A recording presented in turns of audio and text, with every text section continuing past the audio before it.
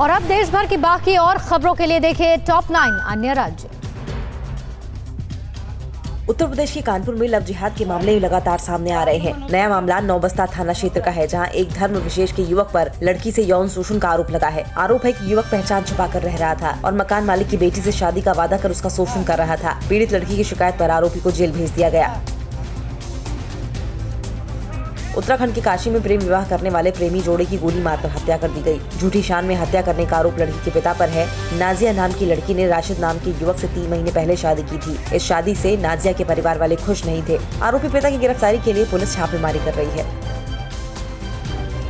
UP में गुंडा राज का सनसनीखेज वीडियो सामने आया है। प्रतापगढ़ में खुद को चंदन यादव बताने वाला ये शख्स मोती सिंह नाम से मशहूर राज्य के कैबिनेट मंत्री राजेंद्र प्रसाद सिंह का खुलेआम एनकाउंटर करने की धमकी दे रहा है। सोशल मीडिया पर ये वीडियो वायरल हो रहा है। ये शख्स ब्लॉक प्रमुख के पति और गैंगस्टर सभाजीत यादव को अपना मामा बताता है। यूपी गोंडा में कुएँ से जहरीली गैस रिसने से पाँच लोगों की मौत हो गई। दरअसल कुएँ में गिरे बछड़े को निकालने के लिए पाँचों युवक कुएँ में उतरे थे। उसी दौरान कुएँ में जहरीली गैस का रिसाव हो गया और पाँचों युवक उसकी चपेट में आ गए। सूचना पाकर पहुँची टीम ने रेस्क्यू कर सभी को बाहर निकाला, लेकिन जिला अस्पताल में पाँचों को मृत घोषित कर दिया गया। ग्रेटर नोएडा के दादरी में तीन नकाबपोश बदमाशों ने एक युवक पर चाकुओं से हमला कर मौत के घाट उतार दिया। बताया जा रहा है कि बदमाशों ने युवक को दौड़ा दौड़ा कर हमला किया।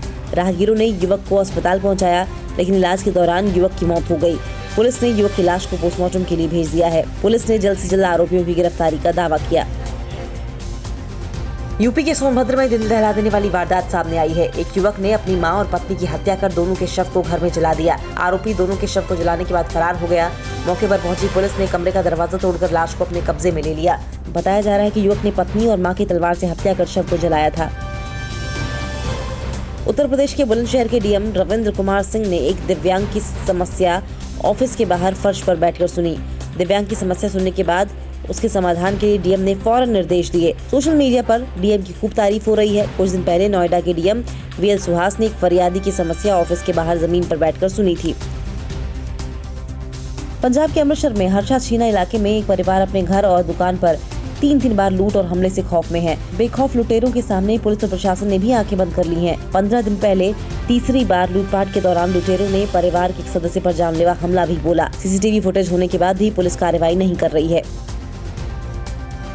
झारखंड के गोड्डा ज़िले के एक आश्रम की साध्वी के साथ गैंगरेप का सनसनीखेज मामला सामने आया है। आधी रात को चार से पाँच बदमाशों ने गैंगरेप की इस वारदात को अंजाम दिया। पुलिस ने इस मामले में दो नामजद और दो अज्ञात बदमाशों के खिलाफ मामला दर्ज किया है। एक आरोपी को पुलिस ने गिरफ़्तार कर लिया। न्यूज़ टॉप नाइन रोज सुबह सात बजे और शाम सात बजे, सिर्फ़ टीवी नाइन भारतवर्ष पर।